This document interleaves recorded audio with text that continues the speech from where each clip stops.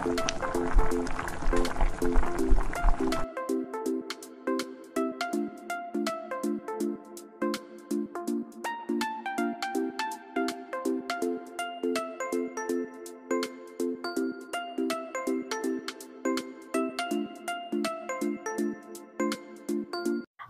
mga apo. Ito si Lula Vlogger. Aling Bilin Pitsay Queen.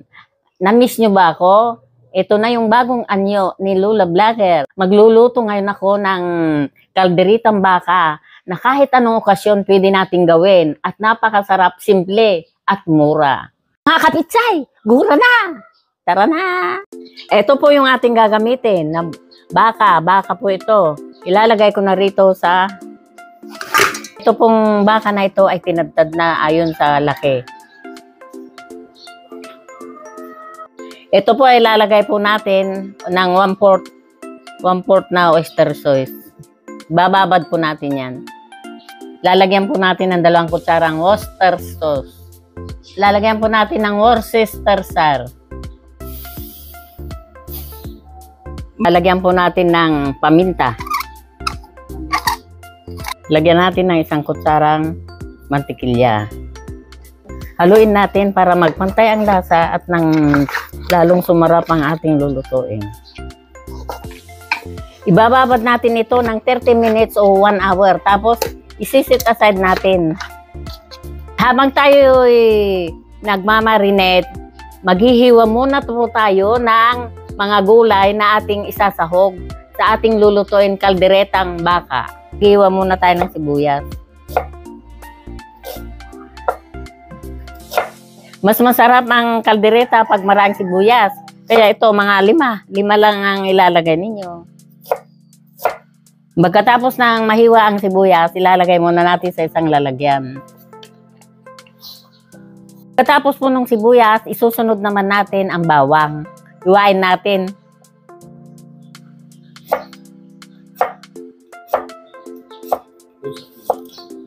Ngayon naman, mag-iwan na naman tayo ng silik. Ngayon naman, mag-iwa tayo ng patatas. Pag-aapatin natin yung patatas para lalong masarap ang ating lulutuin. Ayan, ganyan. Karot din. Iwain din natin ng paganyan, oh.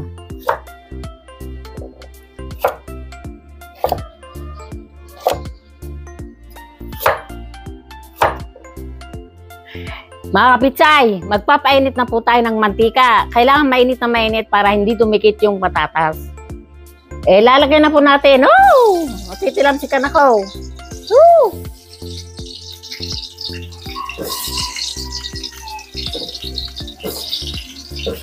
Naku, napakasarap tong niluluto ko na ito. Ito ay paborito ng aking kapitbahay na laging hingi ng hingi ng ulam. Sa akin, ito, oh, na, nagugustuhan niya ito. Leron, leron sinta. Buko ng papaya. Dala, dalay, buslo. Pagkatapos na mahapray, eh, hanguin na po natin. Isit aside na rin natin uli. Yan, ilagay natin sa isang plato. Susunod natin ipirito ang karot naman. Ay! Ay! Ngayon po, hanguin na natin. Huwag nating sunugin ang karot. Kailangan po, katamtaman lang para masarap. Magigisa na po tayo. Gisain na po natin yung sibuyas. Lalagay na po natin yung bawang para ano, masabay na doon sa sibuyas. Pag po eh, nagisa na po yung sibuyas at medyo mapula-pula na, ilagay na po natin yung ating minarinit na baka. Kailangan masangkutan natin itong mabuti.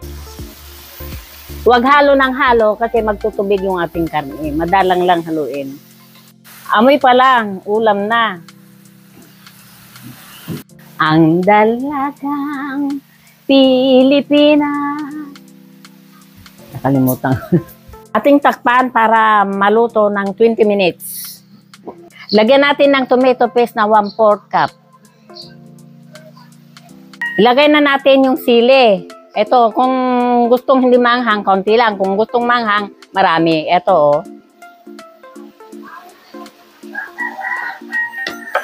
Ngayon naman, lalagyan natin ng tubig. Konti lang, hindi masyadong madami. Para lumambot naman yung ating niluluto. Ngayon, takpan natin para lumambot ka. Mga kapitsay, kapag kumukulo na, hinaan na natin yung apoy para dahan-dahan lumambot. Mga kapitsay, kapag ka matigas pa, dagdagan ng kaunting tubig para lumambot. Pag malambot na, lalagay na natin yung ibang ingredients. Kaparis na ito, pickles. 1, 2, 3. Itong pangalawa naman, keso. 1, 2, 3.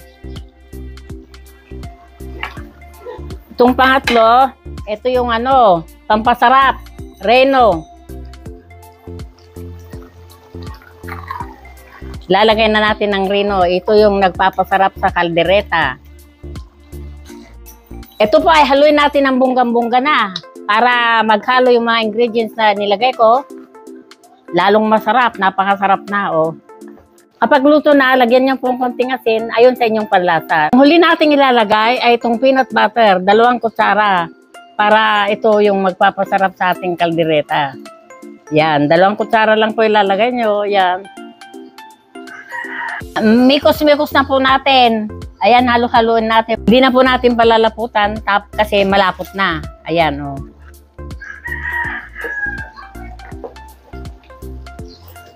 Ngayon po, ilalagay na natin yung huling ingredient na lalong magpapasarap at maraming pakakainin pang tao. Ito, oh. Oh, oh yan na.